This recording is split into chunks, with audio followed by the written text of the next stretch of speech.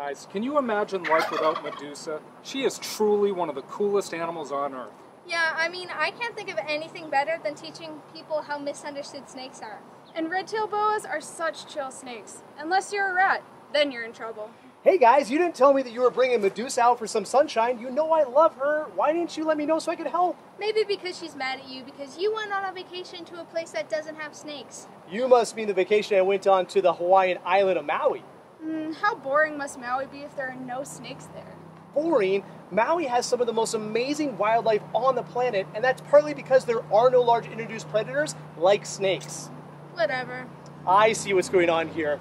Your dad used to live on the big island of Hawaii when he was younger, and he's just jealous that he didn't come on my trip to Maui with me. No. Should have been me on that trip. Yeah, all right. Well, so Amelia and Sandra, do you guys want to learn why Maui and Hawaii has some of the most amazing ecosystems on the planet, despite the fact that there are no large snakes there? Mm, I don't know, Jed. While you were in Maui, we went on a pretty amazing vacation of our own. You must mean the vacation you guys took to Puerto Penasco in Mexico uh, while I was gone. And I bet all the ocean life we saw there blew anything you saw out of the water. Well, we'll see about that. Do you guys want a sneak peek at one of the most amazing animals that I saw while scuba diving in Maui? I guess.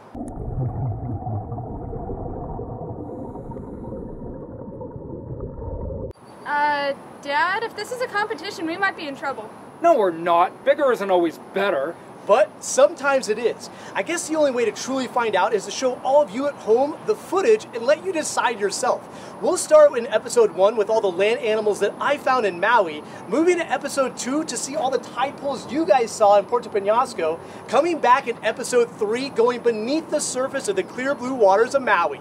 Well, that's not fair. You get two episodes and we only get one? Who said life was fair? I don't know, Jed. Your stuff had better be good, because uh, we're coming for you. Oh, it's good. To understand the wildlife of Maui, you first have to understand the land. Maui is part of an archipelago or island chain made up of eight major islands. The chain formed when the Pacific Plate, the largest tectonic plate on Earth, moved over a stationary hotspot at a rate of just under three inches per year. Active volcanoes broke the surface, then grew less active and began to erode as they slowly left the hot spot behind. The oldest of the major islands, Kauai, is 4 to 5 million years old. The youngest, Hawaii, also known as the Big Island, is between 400,000 and 800,000 years old. Maui is also young, aged at just over 1 million years. While the Big Island is famous for active volcanoes like Kilauea, which has erupted nonstop since 1983, many are surprised to learn that Maui has a volcano that hasn't been declared extinct. Rising over 10,000 feet above sea level, Haleakala lords over Maui. Scientists think it may rumble to life again sometime in the future, but for now, it remains dormant. Since Haleakala's last lava flow in 1790, the entire island has been in a state of decay. Wind, rain, groundwater, and even ice and snow work to break down nutrient rich volcanic rock into some of the most fertile soil on Earth. In this soil, plants took root and proliferated.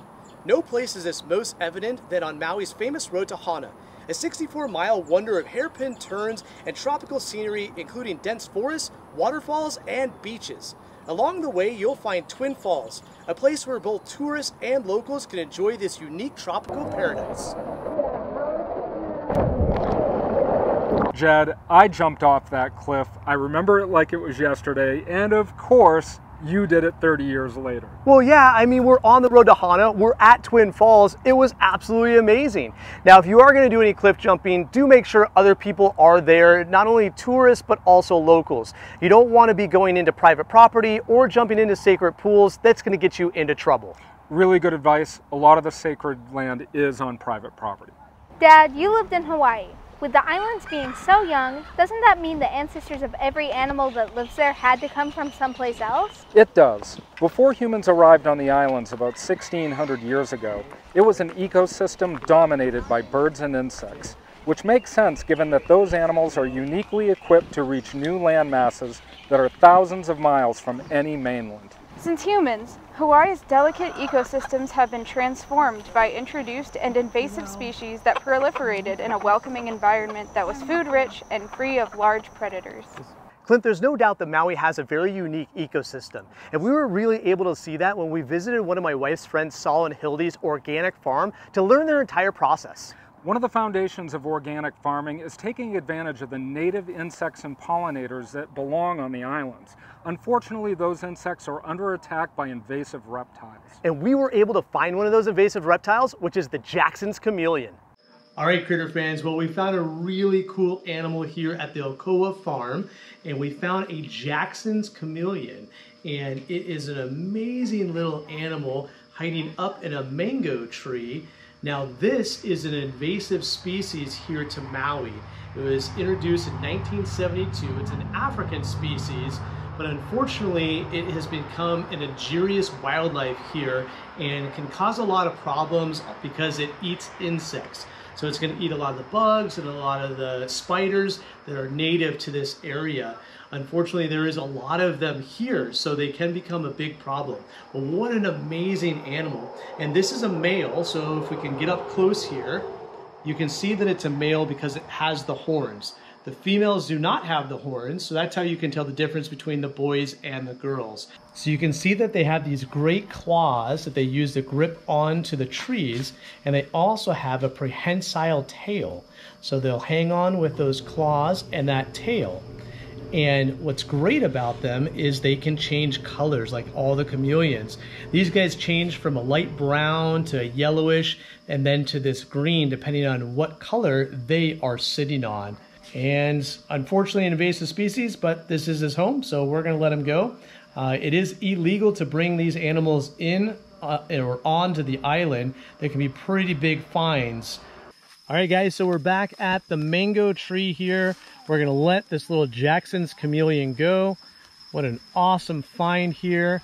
Gonna put him back up in this tree. You can see how he grips a hold and holds on to those branches there. And Jed, it isn't just at the pollination phase that these farms are under attack. There are also invasive mammals that threaten the crop yield. Yeah, Saul was actually able to show us a herd of axis deer that live in the area, and he does say that they come into the farm quite a bit and eat a lot of fruits and vegetables. In 1867, axis deer were brought to Hawaii as a gift to King Kamehameha V from the people of Hong Kong. Today, it's estimated that 30 to 50,000 axis deer live on the island of Maui. Clint, even though there are all these axis deer on the island of Maui, it seems like they've uh, learned to live with them. And uh, Saul's okay with some of them coming in and eating some of the fruits and vegetables. And in return, he will hunt a few of them for food. Yeah, and that's one of the biggest reasons why the Hawaiian government has decided to manage the deer herd rather than eradicate it. Going to the organic farm was truly a high point of our trip. We got to see uh, free range chickens and goats and all the fruits and vegetables that Saul is growing. And he will use those to sell to supermarkets, to individual families, and to farmers markets. Yeah, and farmers markets are one of the best ways that you can learn a little bit about Hawaiian culture and support the local economy.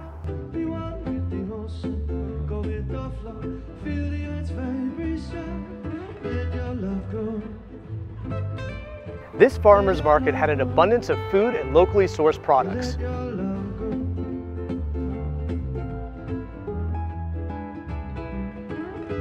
So many of our children cry for reasons that they can't control. Many of our people are dying before their lives can unfold. We only got one life, as far as we know. One of the booths was set up to be able to help local Hawaiian children. Kimo Foundation is a nonprofit organization here on Maui that is our mission is to preserve and perpetuate the Hawaiian culture and language. And so our main project that we're working on now is supporting a Hawaiian immersion. And Jed, speaking about Hawaiian culture, there's really no better place to learn about it than one of Hawaii's many state parks. And we were able to visit Iao Needle State Park, which has a lot of historical significance to the Hawaiian people. Iao Needle State Park is defined by its 1,200 foot erosional peak.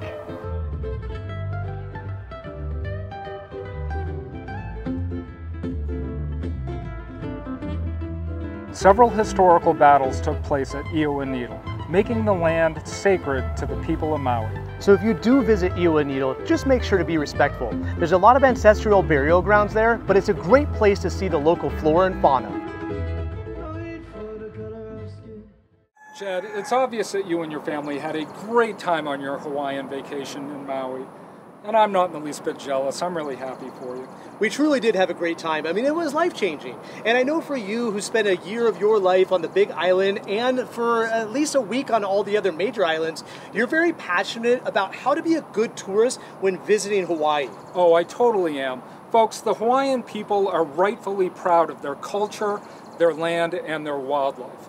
If you go there thinking that the money you spend puts you above the laws of their culture, then it's going to cause friction, even if it's just a dirty look.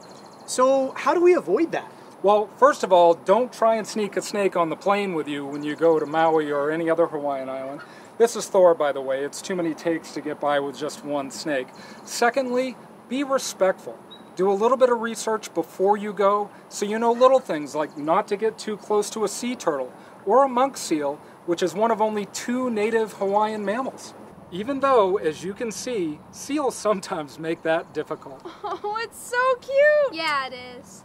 And a big thank you to my friend Brian Shoemaker who provided that great monk seal footage.